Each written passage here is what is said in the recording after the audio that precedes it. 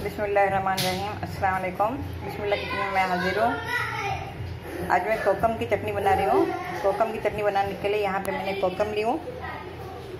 इसे साफ़ धो के रखी हूँ। गीला खोपरा है और तीन चार हरी मिर्च है।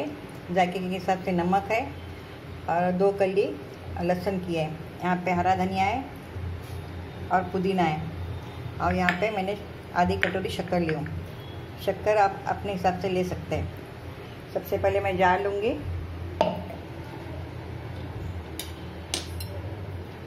और एक गीला नारियल और लहसुन और मिर्ची तो पहले डालूँगी।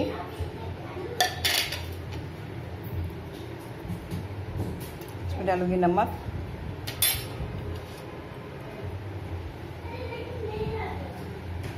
पहले थोड़ा इसको मैं बारीक करूँगी।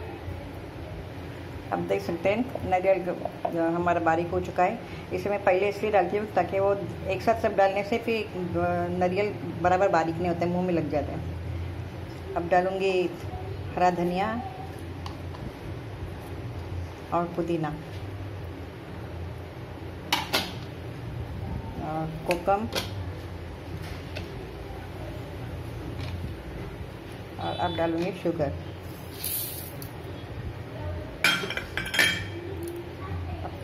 थोड़ा सा पानी डालूँगी और इसे मिक्सर में पीसूँगी। आप आप देख सकते हैं कोकम की चटनी हमारी ग्राइंड हो चुकी है।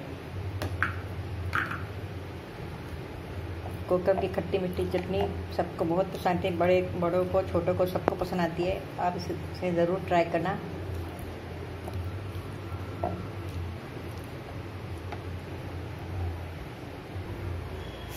आप देख सकते हैं कोकम की चटनी हमारी बनके तैयार है। बहुत ही जल्दी बनती है बहुत ही टेस्टी रहती है। आपको अगर मेरा वीडियो पसंद आया तो ज़रूर सब्सक्राइब करना लाइक करना शेयर करना। अल्लाह हाफिज़।